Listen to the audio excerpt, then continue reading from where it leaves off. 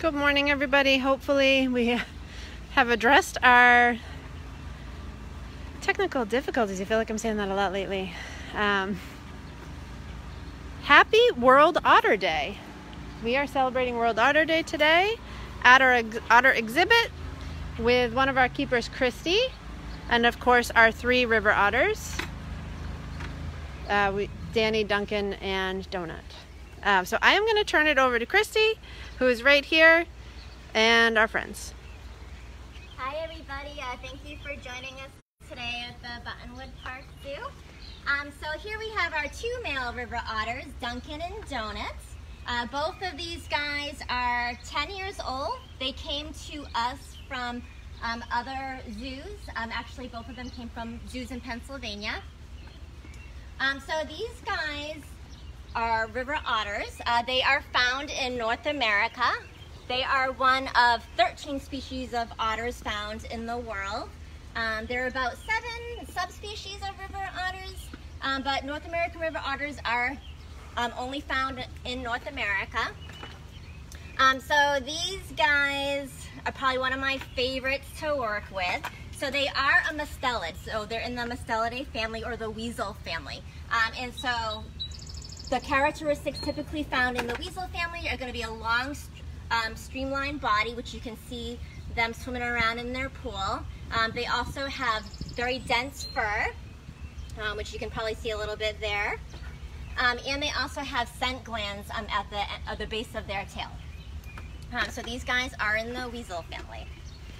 These guys are semi-aquatic animals, um, so they do spend time both on land and in water. They are aquatic predators, so they do pretty much hunt and look for prey around water. Um, so their habitat is, of course, going to be um, waterways. So any permanent um, body of water, and they can be found both in freshwater and marine environments. So these guys can be found in lakes, they can be found in rivers, estuaries, marshes, coastlines, um, so anywhere where there's a permanent body of water. Um, and they also need very clean water. So that's one of the big important things with river otters is that they need to have clean water. Um, they are sensitive to pollution, um, and that's something that thankfully with the Clean Water Protection Act is one of the reasons why these guys are actually rebounding.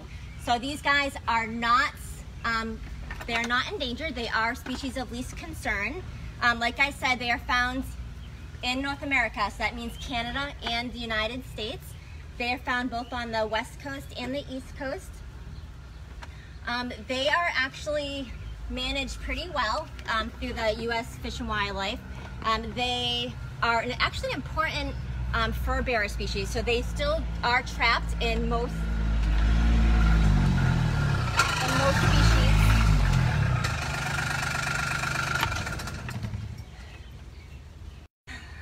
So these guys, um, the other big part or the other big reason why these guys were endangered was for their fur. So these guys were actually hunted um, and trapped in the about 1800s.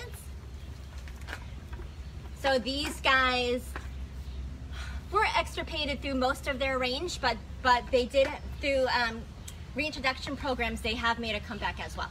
So like I said, these guys um, typically are still trapped in a lot of states, but they're highly regulated. We did have a question about these two. Where did they we get them from? Do they come from the wild or Yeah, another so zoo? both of these guys came from other zoos. Uh, they came from uh, zoos in Pennsylvania. So I believe one of them was a Pittsburgh Zoo, and the other one was the Erie Zoo, maybe. Um, so there are two zoos in Pennsylvania they came from. These guys are part of the species survival plan. So they do. They are part of the breeding program um, through AZA. Do you want to talk a little bit? We are able, luckily, in this spot to be able to really see them swimming underwater. Maybe Yes. talk a little bit about some of their adaptations Yeah. that help them that we could see. So these guys are both adapted for land as well as water. So They do have a nice dense fur. Um, that fur is waterproof. It helps keep water away from their skin. These guys um, also have webbed feet. So if you look at, try maybe try to get a good view. I'm, of their I'm feet, trying to get their feet as their they paws, jump off. They have webbing in between. Um, so they are excellent swimmers. If you watch them swim, when they do a slow swim, they will paddle um, with their paws. Um, if they want to do a very fast swim, they will use their tail to help propel them through the water. Um, and the, uh, their tail on land also serves as a purpose. It actually helps them balance. These guys are agile on land as well. They're, they can run pretty fast, about up to uh, 15 miles per hour. Um, they're great climbers. They also slide and bound on land as well. Um, and they're just a really fun, high energy otter. And that's the other thing. They are high energy or have a high um, metabolic rate. Um, and so these guys do need to eat a lot. Um, and that high metabolic rate is also an adaptation. So they're going to produce a lot more heat and that heat's going to help them stay warm um, with their nice dense What fur. are you feeding them right now? Um, so right now, so these guys are carnivores. So right now I'm feeding them fish. Fish is a big bulk of their diet. Here at the zoo, we feed them herring and capelin, um, as well as smelts.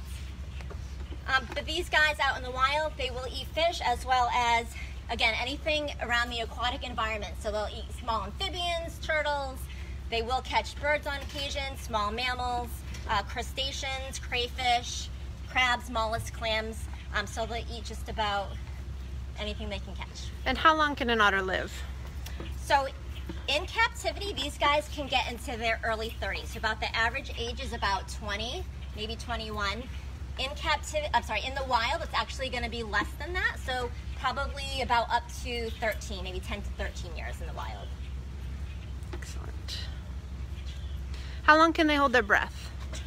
Uh, so these guys do a pretty good job at holding their breath. They can hold their breath for up to eight minutes. They can dive down to about 60 feet and they can swim about maybe like six miles per hour. And will they swim year round in the winter and the summer? They are, yes, they are active year round. Um, in the winter time, they will have holes in the ice that they can use um, and stay active in the water. Um, they also do use other animal lodges, like beaver lodges, for example, and sometimes in the winter they will um, have access to the water through beaver lodges as well.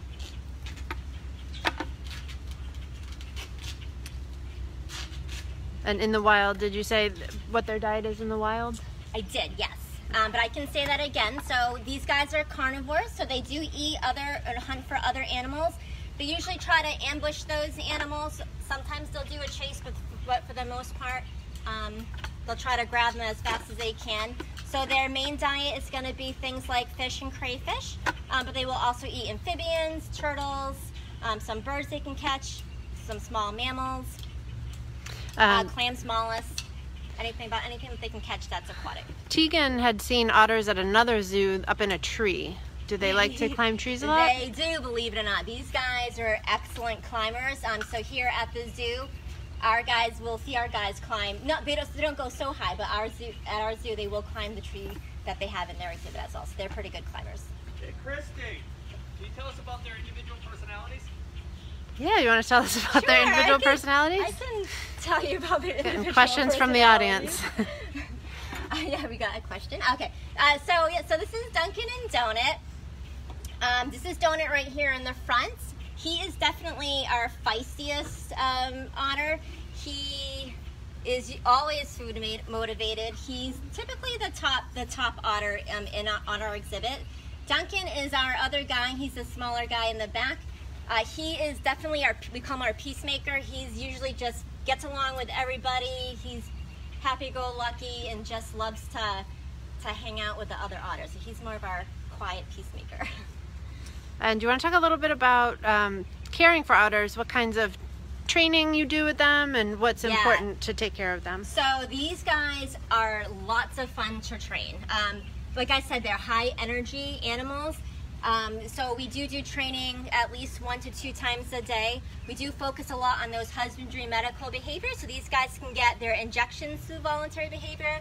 Um, they do open mouth. We can get a weight on them every time we need one. Um, so I'll do a lot of training that way. Enrichment is huge for these guys. We like to keep them actively um, searching and enriched and learning in their environment. Um, so we do provide them with enrichment probably about three times a day. Um, they love to dig in mulch piles. We'll give them um, different kind of um, boomer balls and things to hide their food in so they get to work to get the food out. They love scent enrichment as well, so we'll put different kinds of scent throughout the, the exhibit. Always trying to make different stimuli available to them. It looks like, oh, they're coming back. All right, if we have any other questions about otters, or maybe if you could tell me a little bit, because today is World Otter Day. In general, you said there are multiple species of otters in the world. Yes, How are are. otters doing? What can we do to help them? Yep, so there are um, 13 species of otters in the world.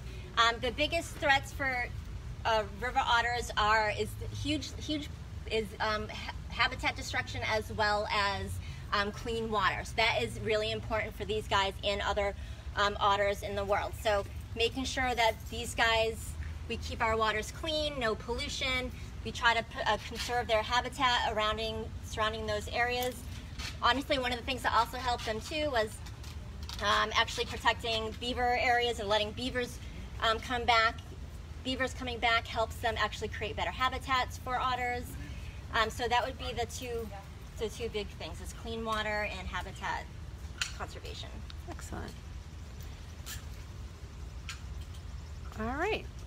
Well, they are so much fun to watch. They are. They're they're a lot of fun. And I would say of, of something we've been getting asked sometimes with our closure, you know, are there animals that are impacted by not seeing visitors? I would say these are an animal that do enjoy the activity of having visitors on site. They're always interested in what's going on around them. So I know they will be excited to see everyone They back will. on They'll site very starting this excited, weekend. Just like we are. I cannot wait.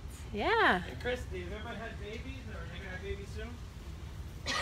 Do we have a breeding program with these guys here at the zoo? Yep. So, like I mentioned earlier, these guys are part of the um, species survival plan. So they are part of the uh, breeding program um, through AZA.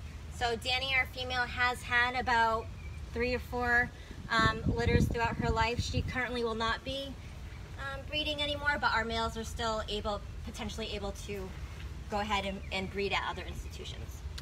And um, personality wise, or just in general, do they live together in groups in the wild? Do they fight? Do they get along? Yep. So these guys typically you can find them solitary, but a lot of times you, if you find groups of otters, you'll find a mom um, with her offspring. So typically you'll see maybe about you know about on average the moms do have about two to three pups, though they can have up to six. Um, they typically will stay with their mom for six six months to possibly a year. Um, so they do stay with mom for quite a while. So typically out in the wild you will see that grouping. There also have been male groupings as well, um, as well as juveniles too. But a lot of times you will see them solitary. All right. So I want to thank everyone for joining us today for this virtual keeper chat. And again, happy World Otter Day. Thank you, Christy and Dani and Duncan, for joining us. We are looking forward to seeing everyone on site. You can check out our website for all the details about reopening. Um, in the meantime, we hope you have a wonderful rest of your Wednesday, and we will see you again tomorrow. Thank you. Thank you.